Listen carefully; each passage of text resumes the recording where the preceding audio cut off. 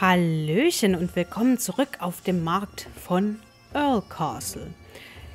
Ja, Jack wartet, glaube ich, schon ganz ungeduldig, dass wir uns hier mal umschauen. Und ich will auch gar nicht lange quatschen, wie sonst immer. Wir legen sofort los. Ist das eine Burg? Sieht ganz anders aus als unsere Höhle. Mehr wie ein riesiger Steinhaufen. Ja, Jack weiß ja natürlich nicht, was eine Burg ist. Er sieht ein bisschen aus wie Tom. Echt? Also außer die blonden Haare finde ich das nicht so. Aber ist doch ganz anders. Ja, vom Charakter auf jeden Fall. Sind alle jung wie er? Na, hoffentlich nicht. Quatsche ich den jetzt mal an? Hey, Junge, komm her. Was ist das für ein Ton? Sag, was hältst du von Tom? Er ist nett, er ist groß, zucke mit den Achseln. Er ist groß. Also lass mich dir eins sagen. Er mag vielleicht ganz nett wirken, aber in Wirklichkeit denkt er an niemanden außer sich selbst. Am Tag, an dem meine Mutter starb, wollte ich helfen, Wasser zu suchen. Aber egal, was ich gemacht habe, er meckerte nur rum. Also, wenn du und deine Mutter bei ihm bleiben wollt, lernt besser, euch hinten anzustellen. Nur damit ihr es wisst.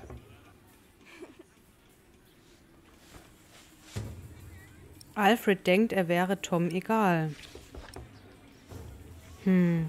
Naja, im Grunde genommen, also als Sohn so über den Vater zu reden, da muss wahrscheinlich einiges passieren. Aber anscheinend äh, hatte das Trauma eben auch nicht ganz überwunden, dass seine Mutter gestorben ist, beziehungsweise er das Gefühl hätte, er hätte noch mehr tun können. Und anscheinend vertraut er seinem Vater auch nicht. Oh, und die Ellen, die malt hier schöne Bilder in den Schnee. Hallo Jack, warst du schon mal auf einer Burg? Nein. Burgen sind sehr sicher.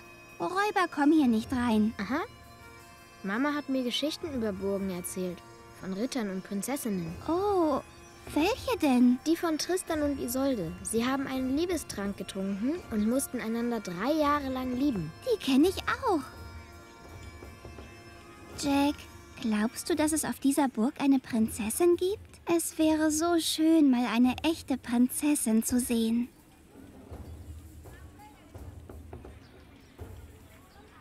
No, die kleine verträumte Martha. Sie ist an so vielen Orten gewesen und weiß so viel über das Leben. Nicht mal dieser Ort bringt sie noch zum Staunen. Ja, aber Martha fühlt sich zumindest sicher hier. Was ist los mit Mama? Sie wirkt so anders. Mal ist sie fröhlicher, mal grantiger als sonst. Sei vorsichtig, Jack. Das Äußere eines Menschen kann täuschen. Der Ritter dort drüben zum Beispiel. Wonach sieht er aus? Wie ein kleiner Bär. Wie eine Ente, zucke mit den Achseln. Wie sieht er denn aus? Eine Ente eher nicht. Schau genau hin.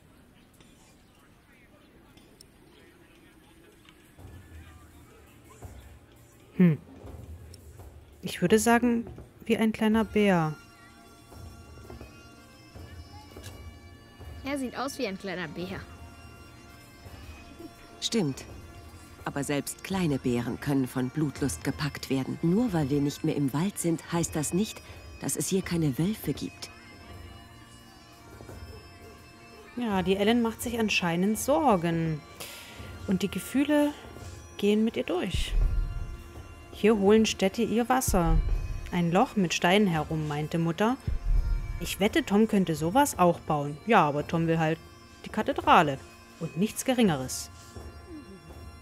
Jack, pass auf, sonst fällst du noch rein. Okay. So, was können wir denn noch machen? Wir können den Hof überqueren. Hier haben wir uns schon alles angeschaut. Den Ritter können wir nicht. Ja, wir überqueren den Hof. Sie hat ihm einfach einen Korb gegeben. Und der Graf hat es ihr auch noch erlaubt. Was für ein Skandal. Aber William Hamley ist ja auch ein Trottel. Ich würde ihn auch nicht heiraten. Sie ist so ein nettes Mädchen. Sie hat wirklich Besseres verdient. Pah, die ist doch genauso arrogant wie ihr Vater. Quatsch. Das ist die Stärke der Adeligen. Die müssen so sein, sonst respektiert die doch keiner. Genau, die macht das schon. Ihr Bruder macht mir da mehr Sorge. Aus dem Feigling wird doch nie ein anständiger Graf. Zumindest weiß er, wie man Leute herumkommandiert. Ja, Was für ein Rotzbengel. Ja, ich weiß genau, worüber die sich unterhalten. Wir haben nämlich vorhin diese kleine Szene am Fenster gehabt, beziehungsweise in der letzten Folge, wo ein Mann mit einer Frau geredet hat. Und ich denke mal, die Belegschaft hier unterhält sich gerade darüber. Arbeiter, so viele Menschen. Was machen die alle hier? So weit weg von den Jagdgründen im Wald. Ja, Jack kennt das alles nicht. Hallo, mein Name ist Jack.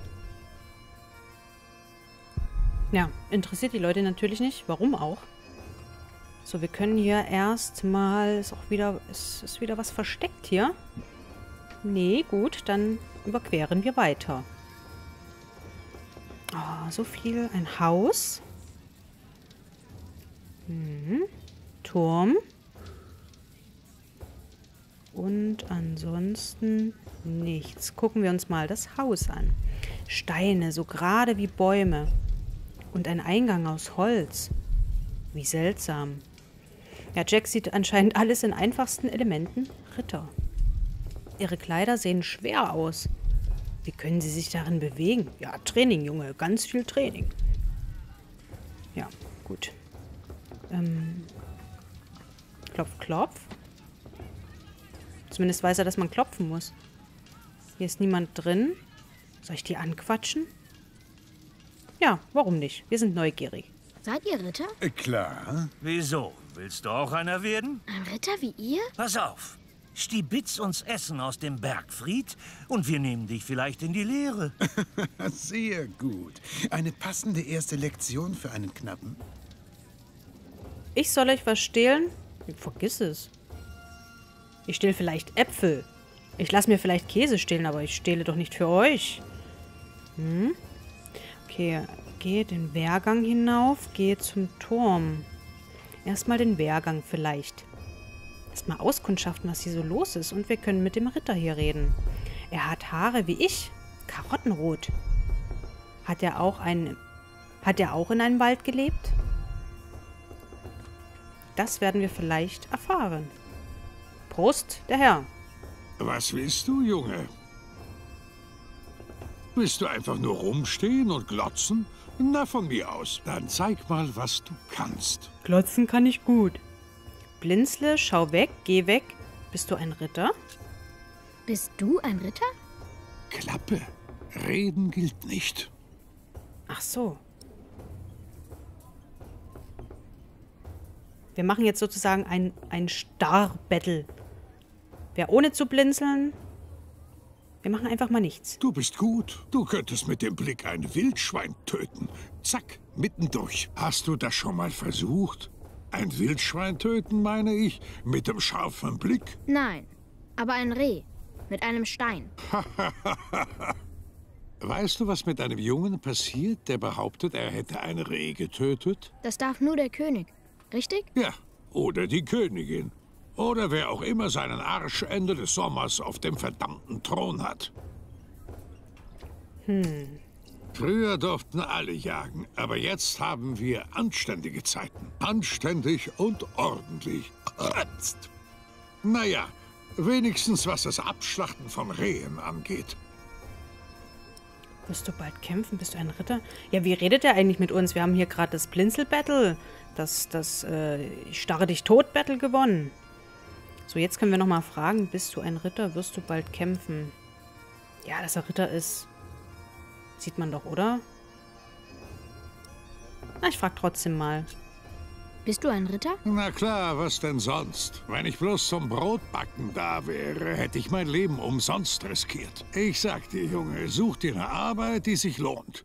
Keine, wo du dir jedes Mal ein neues Pferd kaufen musst, wenn dir einer den Arsch versohlt. Ein Ritter zu sein ist teuer. Vor allem, wenn man auch noch ein Säufer ist. Ein weiser Rat. Verdammt, hätte ich's doch vorher gewusst. Hm, der bereut anscheinend einiges. Wirst du bald kämpfen? Wirst du bald kämpfen? Warum fragst du? Na gut, ich will dir was verraten. Kannst du ein Geheimnis bewahren? Nö. Welche Farbe hat deine Kacke, Junge? Braun.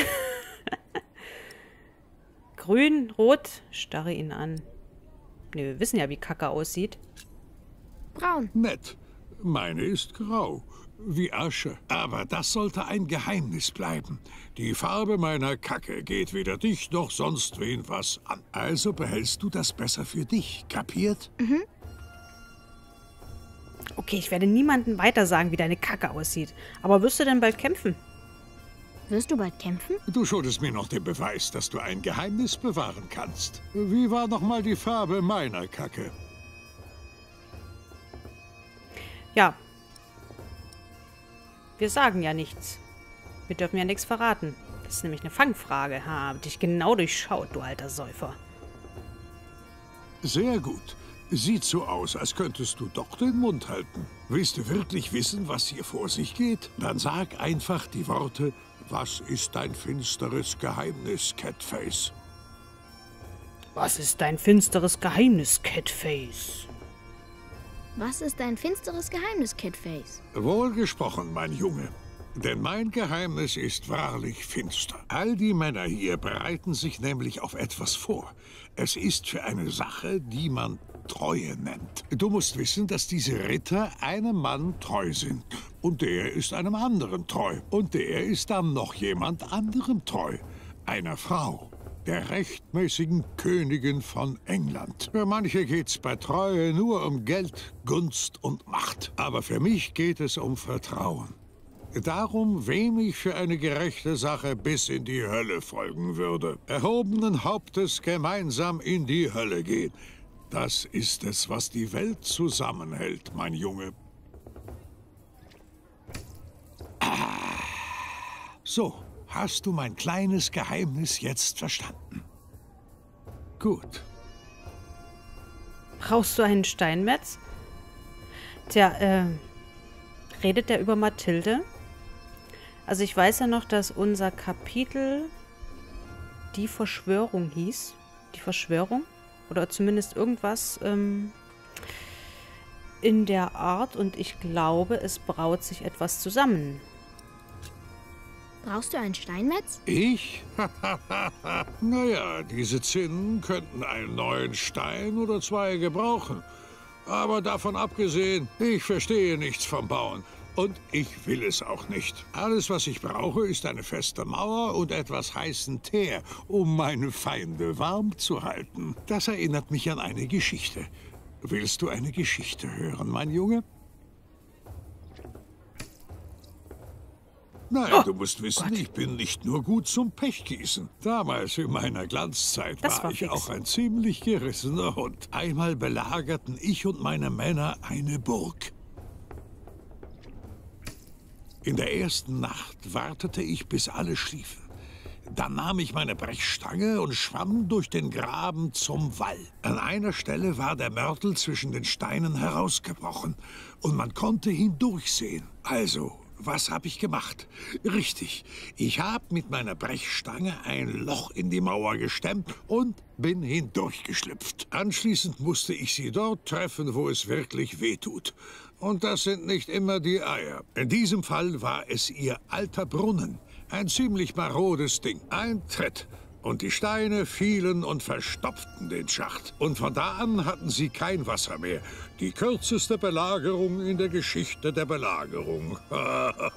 und nicht ein Trottel musste sterben. Und das alles, weil ich mir die Mauer genau angesehen und den Brunnen zerstört hatte. Ich dachte, Ritter kämpfen nur. Ja, ein echter Ritter macht so einiges, mein Junge. Der hat wohl Köpfchen, hä? Tja, diesen Hinweis merken wir uns natürlich für die Zukunft. Wie hast du die Belagerung beendet? Wie hast du die Belagerung beendet? Ich habe nach einer Mauer ohne Mörtel gesucht. Und dann habe ich ihrem maroden Brunnen eingetreten. Das war's. Okay, also es scheint ja so, als müssten wir... Was für ein seltsamer Junge. Was für ein seltsamer Mann. So eine Drahtspase. Ähm, es scheint so, als wäre uns diese Auskunft tatsächlich noch nützlich. Huch, ah, okay, nee, nee, nee, komm, komm, komm. Das war ja gerade so schön geswitcht. Mm, Stall. Ein Haus für Pferde. Das müssen gute Leute sein. Sie behandeln ihre Tiere wie Menschen. Jetzt kann ich nicht mehr hier hin switchen. Äh, äh, äh. Schade. Jetzt. Es hier irgendwas für mich? Wir gucken uns natürlich alles an. Ich möchte nichts verpassen. Ich möchte ein gutes Ende erreichen. So.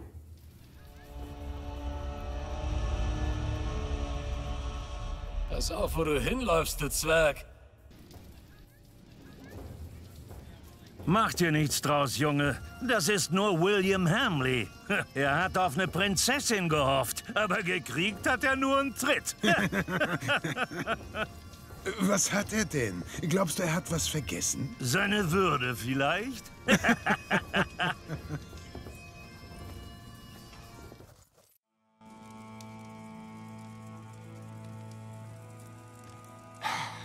Ihr scheint mir ein ehrbarer Mann zu sein, aber wir haben bereits einen Stellmacher, der Dinge für uns repariert.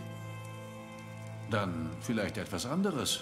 Ich habe gehört, es gäbe hier alles Mögliche zu tun. Ja, aber leider nicht für einen Baumeister. In der Tat brauchen wir eher Leute, die einreißen können, als Dinge wieder aufzubauen. Nun gut. Vielen Dank für eure Zeit.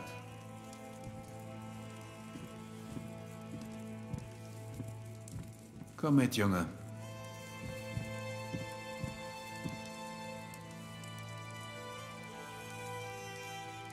Noch nicht, Tom. Kleinen Moment noch.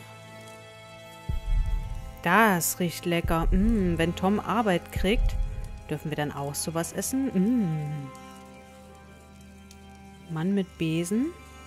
Der Graf? Fragezeichen. Er steht mir im Weg. Dagegen können wir doch sicher was tun. Es tut mir schrecklich leid, Junge, aber die Lady Aliena empfängt heute keine Besucher. Ich will die Lady sehen. Die Lady Aliena? Die Lady Aliena? Eine bezaubernde junge Frau.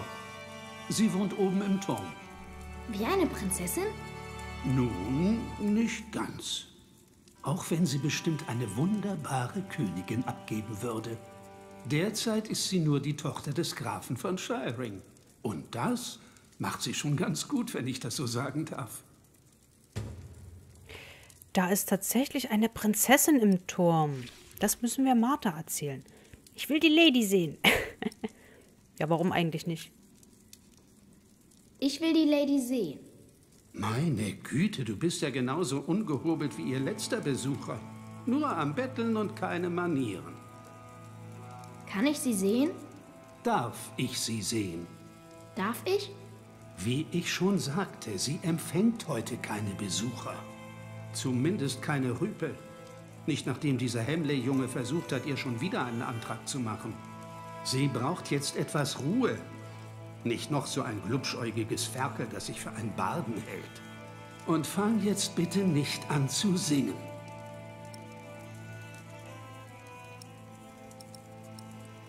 Ja, Hemley. Hemley? Ja, Percy Hamleys Sohn William. Jetzt ab mit dir. Wir beharren. Darf ich die Lady sehen? Ich hab dir doch gesagt, sie ist gerade nicht in der Stimmung für aufdringliche Bengel. Sie würde lieber ein höfliches kleines Mädchen vorziehen. So, so, das ist natürlich gespeichert. Mach dir einen wunderschönen Nachmittag. Ja, William Hamley ist äh, der blonde Bursche, der uns da am Tor gerade begegnet ist und anscheinend einen Korb von Lady Aliena bekommen hat. In ganz Südengland haben wir Gefolgsleute. Selbstverständlich. Du bist ja auch der Graf. Verlasse dich nie allein auf deinen Titel, mein Sohn. Ich verstehe nicht. Hast du deshalb diese ganzen Briefe geschrieben? Okay, junger Ritter. Ich weiß schon, wer es ist, aber ich sag's euch natürlich noch nicht. Ein kleiner Ritter. Er sieht nicht sehr stark aus. Vielleicht hat er auch eine Schleuder wie ich. Wir wissen nur, was im Süden passiert. Aber was Robert im Westen tut, wissen wir nicht. Gemeinsam kontrollieren wir also den gesamten Südwesten? Nicht vollständig, aber wir haben überall Kundschafter, die uns regelmäßig Bericht erstatten. Und nun Ruhe. Ich muss nachdenken. Okay, die reden anscheinend über Robert von Cloudchester. Da ist was. Vom Tisch gefallen. Da ist, ist da was drauf? Ist mir sofort aufgefallen. Können wir uns da ranschleichen?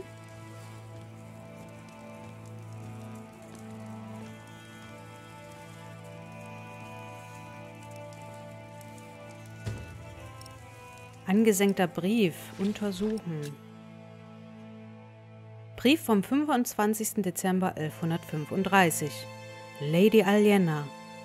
Ich sehe unsere Vereinigung mit großer Vorfreude entgegen. Mein Vater ist einer der wohlhabendsten Männer des Landes und deiner der Graf von Shiring.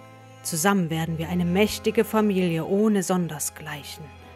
Sondergleichen. Aber dennoch musst du beim Gedanken an unser anstehendes Treffen nicht erröten, meine Dame. Du wirst mich gut zufriedenstellen. So, so. Mein Vater hat ein Haus für uns in Auftrag gegeben. Du wirst kochen, putzen, Gäste empfangen und meine Pferde pflegen. Schlaflose Nächte sollen dich dafür belohnen. Küsschen, Küsschen, Zwinker, Zwinker, William Hamley. Okay, ich glaube, hier wird auch sehr deutlich, äh, dass der junge Herr nicht unbedingt der Geschmack der Lady ist oder beziehungsweise nicht unbedingt den Geschmack der Lady trifft und äh, sie den Brief anscheinend verbrennen wollte. Er sah zumindest auch sehr zornig aus.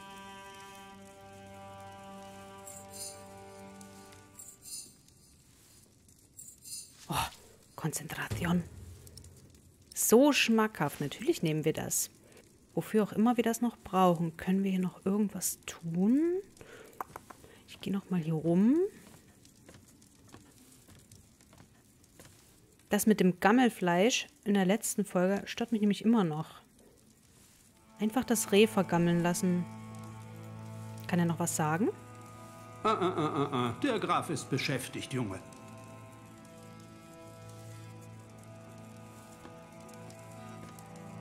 Oh. Da kann ich jetzt also noch mal rumgehen. Ja, wenn der mich nicht durchlässt, dann komme ich eben von der anderen Seite. Bruder, was suchst du hier? Vater und ich haben Wichtiges zu besprechen. Also geh und spiel im Hof, wie es sich für ein Bauernkind gehört. Ich sag's nicht nochmal. Geh spielen!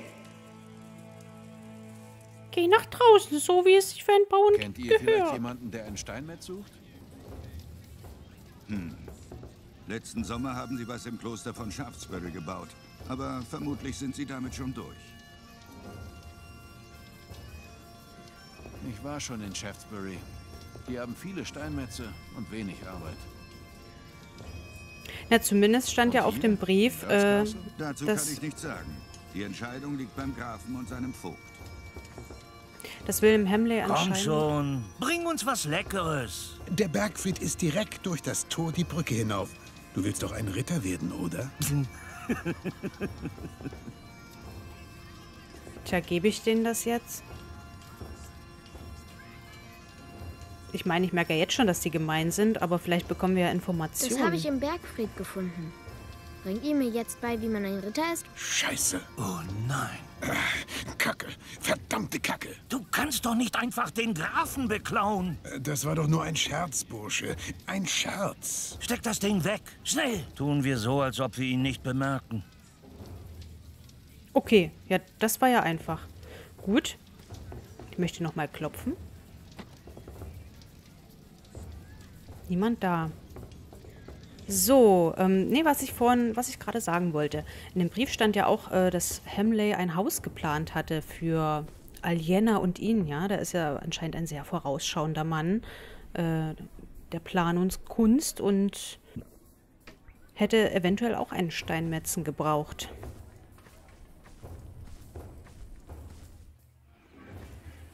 So, Martha, komm mal mit mir mit. Es gibt so viele Ritter hier. Ob es hier wohl auch eine Prinzessin gibt? Es gibt hier eine Prinzessin. Hm? Es gibt ja eine Prinzessin. Was? Wirklich? Ja, in dem Turm. Oh, ich will sie sehen.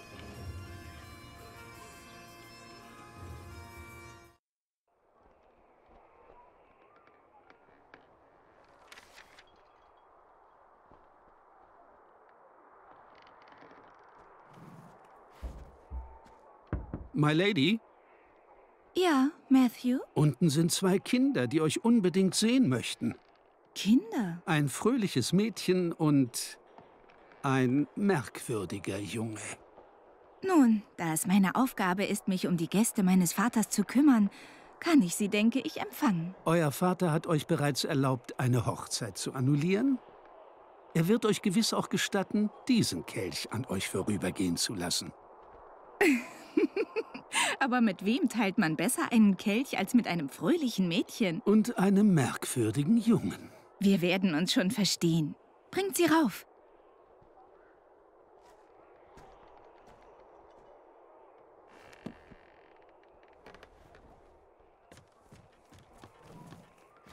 Oh, ihr seid's.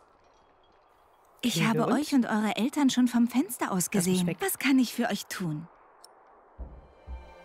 Hallo, bist du die Prinzessin? Du bist schön. Du bist schön. Äh. Du bist ziemlich schüchtern, nicht wahr? Möchtet ihr was zu essen? Aber es ist noch nicht Essenszeit. Wann es hier etwas gibt, bestimme ich. Ich werde Matthew bitten, euch etwas Brot zu bringen. Ja, gerne. Wo ist deine Mutter? Meine Mutter ist tot. Oh, macht dich das nicht traurig? Ich war traurig, aber das ist schon lange her. Mein Bruder Richard kann sich nicht mal mehr an sie erinnern. Meine Mutter ist auch tot. Wann ist sie gestorben? Letzte Woche. Oh, wer ist denn dann die Frau bei euch? Das ist meine Mutter. Und wo ist dein Vater?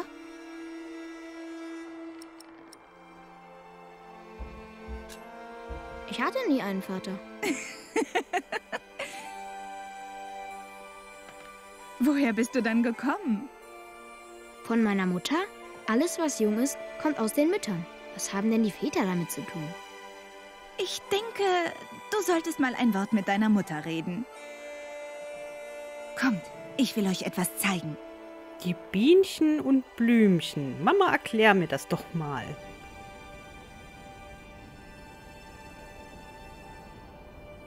Schöner Ausblick. Seid ihr jemals so hoch oben gewesen? Nein. Oh, oh, toll. Die Menschen sehen so klein aus. Wie Mäuse. Du gehst bestimmt jeden Tag hier rauf. Früher ja, aber in letzter Zeit nicht mehr so oft. Warum nicht? Wir sind dabei, uns schlimme Feinde zu machen. Wenn unser erster Angriff fehlschlägt, könnten sie unsere Burg belagern. Dann werde ich viel Zeit hier oben verbringen müssen. Dieser Anblick wäre eine Zeit lang das Einzige, was ich hätte. Er soll etwas Besonderes bleiben. Aber uns zeigst du ihn trotzdem. Ich glaub nicht, dass mich das hier je langweilen könnte. Kommt, lasst uns wieder runtergehen. Matthew wird euch zu euren Eltern bringen. Die war ja nett. Die Prinzessin hat mir gesagt, dass der Graf einen Angriff erwartet. Wie war's? Oh, sie war so hübsch. Meinst du nicht auch, Jack? Mhm. Nun gut, dann sind wir auch schon wieder am Ende der Folge. Aber wir haben ja auch eine wunderschöne Prinzessin getroffen. Wir haben einen Hähnchenschenkel, einen schmackhaften, saftigen Hähnchenschenkel aus dem Burgfried geliehen. Und wir haben Hinweise erhalten, wie wir den Brunnen dicht machen können. Wozu wir das brauchen, weiß ich noch nicht, aber vielleicht zeigt sich das in der nächsten Folge. Ich verabschiede mich und bedanke mich wieder artig. Wir sehen uns dann gleich. Tschüss.